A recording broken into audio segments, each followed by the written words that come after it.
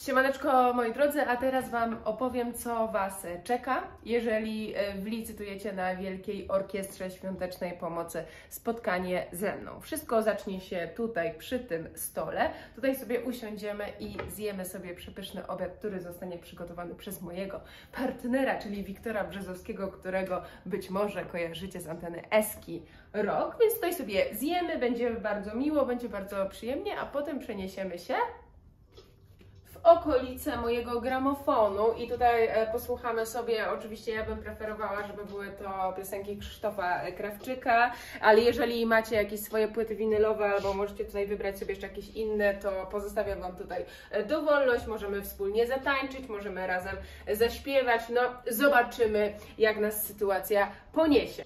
A na koniec usiądziemy sobie na kanapie w towarzystwie majoreczki, w towarzystwie generała, którego zaraz pójdę e, poszukać i wypijemy sobie kawkę i herbatkę i zjemy sobie e, ciasteczko. Prawda, majoreczko?